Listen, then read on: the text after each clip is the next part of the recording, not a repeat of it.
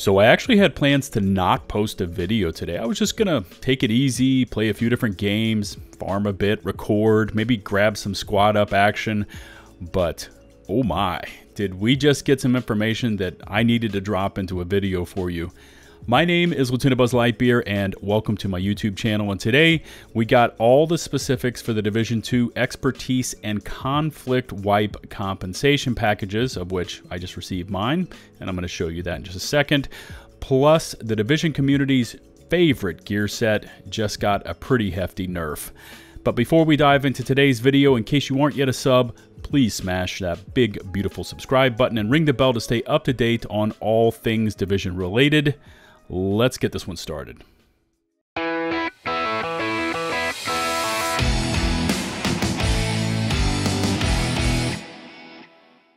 Okay, so the morning started off with this tweet from the official Division 2 Twitter account. I'm just going to read it to you. It says expertise and conflict compensation caches will be delivered to your inboxes today. So I know a lot of you experienced the rollbacks as far as the expertise, the kill XP issues. And then for others of you that joined into conflict, all your upgrades were wiped this is apparently how the team is going to compensate you. They're delivering these caches, which I'm going to show you in a moment, which are stocked full with quite a few materials. They've got a details to a link over to the Ubi forum write-up for this. I'm going to include the link in the video description. Of course, I'm going to read you the post in just a moment as well. But the second part of this, I think some people are going to miss out on. Pay very close attention to this. It says if the inbox limit is exceeded, additional caches will be put in a queue. So if you're due 10 caches, let's say, and you only have room for three in your additional inbox area of your stash, they're only going to deliver the three. The other seven will be waiting for you. So if you open those three, or maybe you clear up some more room, I would advise you log off or just log out completely of the game. Log back in. You may need to do it a few times, but hopefully those additional caches that you're due will show up. I was only due one. I'm going to show it to you in just a moment. Don't open all caches at once. They've got a disclaimer here. When you hit the cap, all excess materials are lost. So if you're kind of maxed out on all your materials, I wouldn't advise you just go open up your cache if it's just one or if you've got like 10, don't open them all at once because all the excess once it fills up your materials overall for your character, and by the way, they did raise that. I'm going to talk about that in a moment.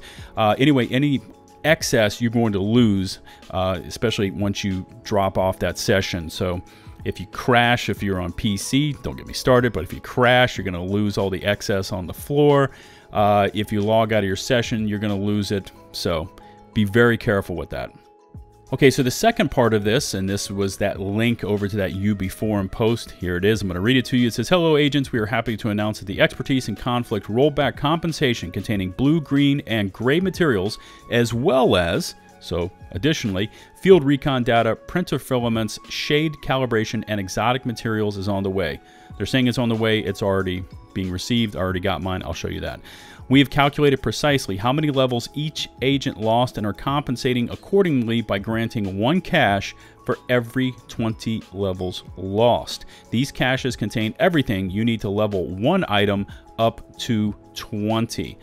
This number is also rounded up, so if you lost 25 levels, we grant you two caches.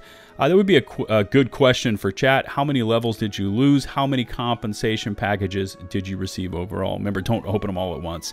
To ensure everyone have space for the materials, we have raised the caps. Pay attention to this. Raise your, I guess, your, your character caps on printer filaments, protective fabric, receiver components, polycarbonate, ceramic steel, carbon fiber, titanium, and electronics to 9,999. So they really raised that. Field recon and shade calibration to 1000 and exotic components up to 999. So these are huge increases in what your characters can carry now as far as mats. So a ton of them got raised up to 9,999. Field recon and shade calibration up to 1K, 1,000, and exotic components got a huge buff up to 999. This was done for this expertise and conflict compensation rollout specifically, but you can expect an increase of the cap for all the crafting and optimization materials in the future as part of our mission to implement continuing quality of life improvements. The material caches will be delivered to your inboxes today, Thursday, June 9th. Please bear in mind that if the inbox limit is exceeded, additional caches will be put in a queue and will be added to your inbox when there is space, which I already touched on as part of their tweet. And also says warning. So here they are again warning you, even though we are raising the cap, do not attempt to open open all caches simultaneously. Once you hit the cap, the excess materials will be lost. Instead, we would recommend you open a couple at a time, then spend your materials as you will reach the cap fast. That's from the Division 2 development team. So a lot going on there. Compensation packages are coming out. I'm going to show you mine. Give me one second. I'll switch over to that screen. Okay, so as promised, here we are at my stash. You can see over there the mailbox is at one of 60, so I got one of them. Check that out. 4,500 receiver components, 4,500 protective fabric, 1,525 steel, 1,525 ceramics, 1,525 polycarbonate, 2625, that's 2,625 on titanium, electronics, carbon fiber. Uh, printer filament 4500 you also get 55 exotic components 240 field recon data and 110 shade calibration per cache Okay, so again, quite a bit happening just on that initial surge of tweets that we got. We found out the compensation packages for the rollbacks and uh, for the wipe issues for conflict came out. I just showed them to you. So, as if we didn't get enough news, we also got this response to this tweet. Uh, this is from Yannick over on Twitter, and this one's this one's going to hit you right in the chest. Okay, so this is the nuclear strike that uh, was kind of missed. It's not in the patch notes, but here it is. In a response to this initial question from Nightlife 565, where he fires off a tweet at Yannick, he says, Was there any work done to the Heartbreaker set? I'm doing significantly less damage now, going from 1.5 mil to 800k to 900k. So apparently, uh, Nightlife went in with his Heartbreaker gear set and noticed, Hey, I'm doing a lot less damage. Uh, to which Yannick responded, actually, yes. We're going to be adding it to the patch notes. So it's not in the patch notes. Nobody was expecting this. We changed the stacks on Heartbreaker to be additive instead of multiplicative. Let me say that again. We changed the stacks on Heartbreaker to be additive instead of multiplicative, which was not the intended behavior. Uh, I'm sure there's plenty of videos out there on the internet on how the Division and the Division 2 both place damage or differing damage types into different categories.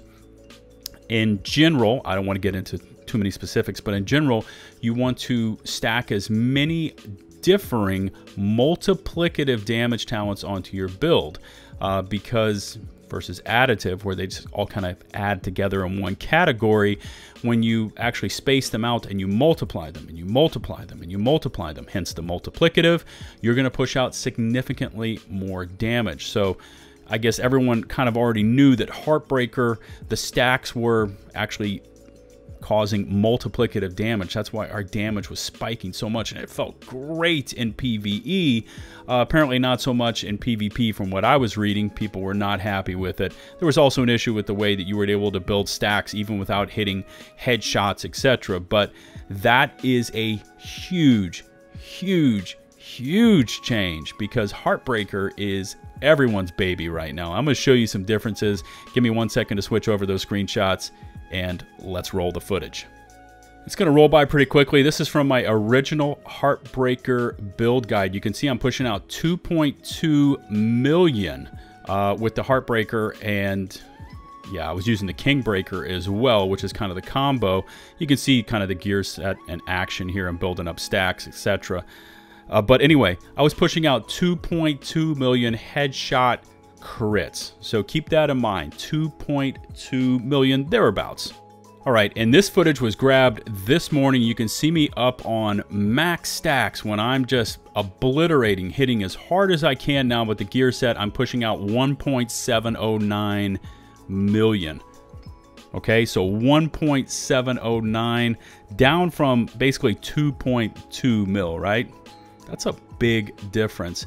I did the math. You're looking at 508K, 508,000 difference between what the Heartbreaker Kingbreaker duo used to do pre nerf to this morning. I did actually a little bit of math ahead of time. You're looking overall at a, I guess, a damage decrease, a nerf of 23%.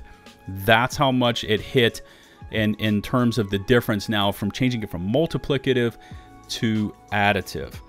Um, wow. You know I'm going to weigh in on this issue.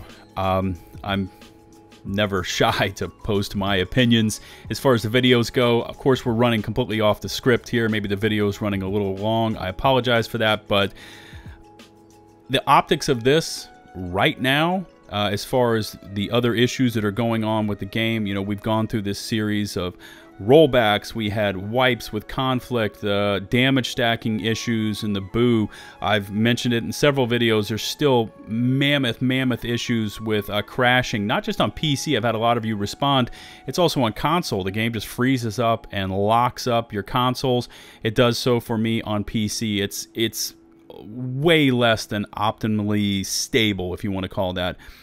And then we come out with this hefty nerf to Heartbreaker. Now, Heartbreaker wasn't hurting anything in terms of PvE. It actually made it enjoyable. It was the one thing that everyone was using, right? Everyone was using Heartbreaker. Heartbreaker all blue build, Heartbreaker all red build, Heartbreaker with, you know, the ACS 12 building up stacks, or maybe you're over there running with a Scorpio, or you've got your Kingbreaker on it. It really made the game enjoyable. Everyone was using Heartbreaker. And I got to tell you, I used it uh, to grab some footage earlier on today on Countdown.